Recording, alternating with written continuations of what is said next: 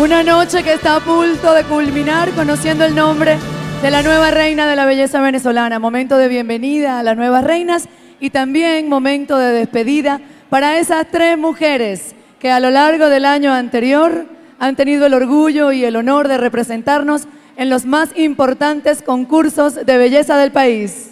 Hay una persona que desde el año anterior nos ha estado dando una lección de vida.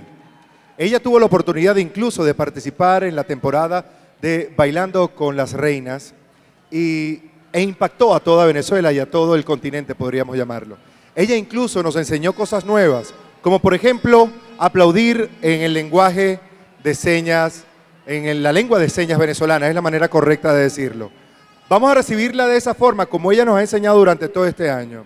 La bienvenida es para Miss Venezuela International, la señorita Vanessa Peretti.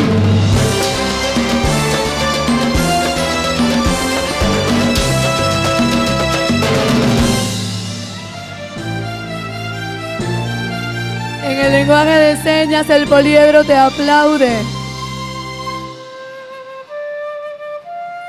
Acércate a mí, Vanessa, y le pedimos a tu intérprete Claudia Jaimes. que nos acompañe para poder comunicarnos contigo. Hola, buenas noches. Gracias. Vanessa, estás bellísima.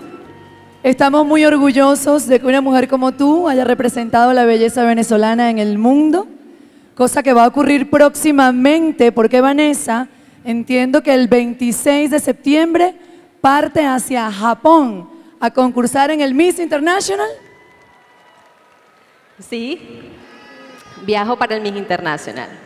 Pero antes quisiera conversar y saludar a toda Venezuela.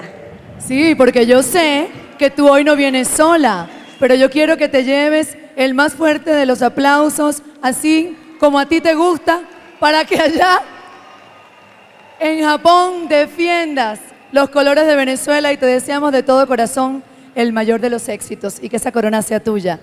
Sé que hoy no vienes sola al escenario, vienes acompañada con un montón de gente. Me traes una sorpresa, cuéntame.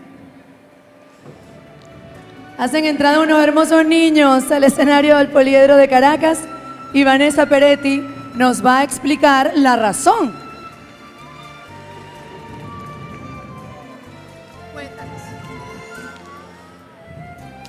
Bueno, Venezuela, muy buenas noches. Hoy quiero darle gracias a Dios por darme la oportunidad de estar aquí, pues hace un año estaba en las mismas condiciones que las Mises. Aprovecho la oportunidad para darle el agradecimiento a Justo Gómez, mi diseñador, y mi esterlista Carlos Aguilar.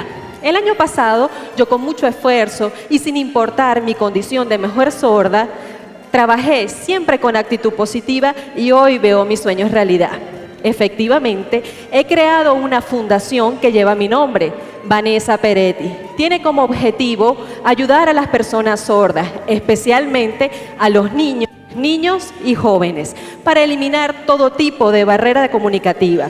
Es por eso que necesito la ayuda de todos ustedes. Hoy me, me, encuentro con los niños de la escuela David Pascoe. Ellos representan a todos los niños de Venezuela. Aprovecho la oportunidad para darle un consejo a las mises que hoy nos acompañan, que luchen, que luchen mucho y que recuerden dos palabras, yo sí puedo y yo. Asimismo, las tienen cada una de ustedes.